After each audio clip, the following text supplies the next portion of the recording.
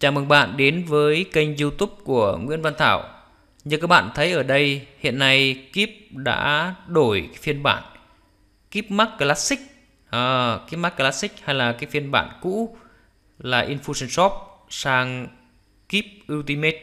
Đó các bạn thấy ha. Rồi và hiện tại chúng ta sẽ có 3 phiên bản như sau. Đầu tiên là kip Pro này.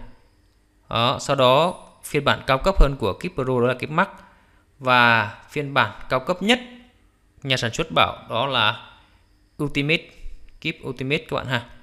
Đó, vậy thì do Keep Ultimate này kế thừa những tính năng của Infusion Shop, đó là một cái phiên bản đã phát triển từ lâu cho nên những tính năng nâng cao thì nó sẽ nằm tất tần tật ở cái phiên bản Ultimate này các bạn ha.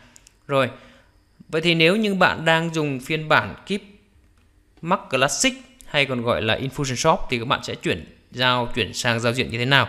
Thì mình sẽ hướng dẫn cho bạn rất là đơn giản thôi ha. Rồi đây chính là giao diện chúng ta là phiên bản Infusion Shop ha, Keepmark Classic. Các bạn thấy đây đúng không ạ? Chúng ta thấy, chúng ta click vào cái hamburger này thì chúng ta thấy đây rất rất là nhiều những cái tác vụ, họ, những cái tác vụ. Và nhiều lúc chúng ta cũng có những có những tác vụ mà hầu như chúng ta không dùng bao giờ đúng không? Đó, và ở đây mình tính là hơn 20 cái tác vụ. Và đối với một người mới, để thấy được những cái này thì có thể khi rất là khó. Đó. do đó Kip đã chuyển cái phiên bản này sang giao diện giống với với hai phiên bản mới luôn các bạn ha. Đó là giống với phiên bản Kip Max và Kip Pro luôn. Tức là sẽ hợp nhất luôn ba cái phiên bản. Đó. và việc của các bạn là theo mình nên chuyển luôn sang cái phiên bản Kip Ultimate ha các bạn và cách chuyển đơn giản như sau chúng ta vào trang chủ đăng nhập bình thường như thế này. Sau đó chúng ta ấn vào hình hamburger đây thì nó sẽ có chữ là Tile Figure này. À, chúng ta click vào đây. Rồi chúng ta click chọn vào Keep Ultimate bản beta này. Và mình đã dùng thử cái bản này được mấy tháng rồi thì thấy nó rất là ổn định không có vấn đề gì đâu. Click vào đây.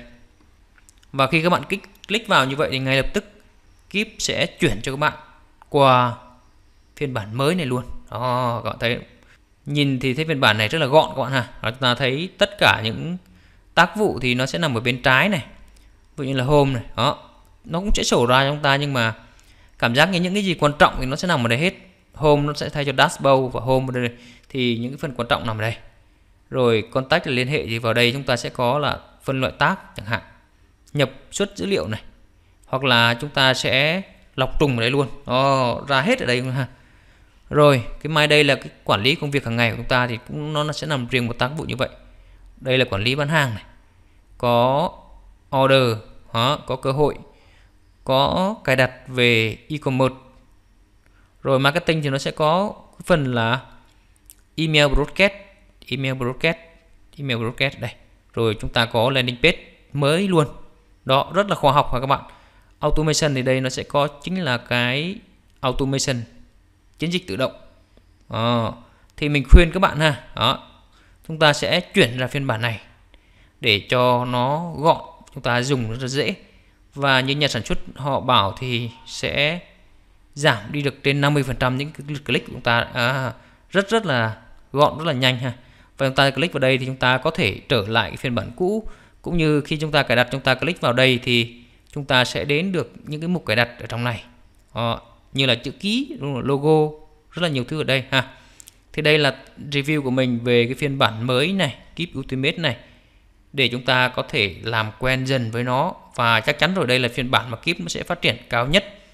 Và tiến tới họ sẽ bỏ cái phiên bản cũ, mình đoán trong tương lai là như vậy, ha.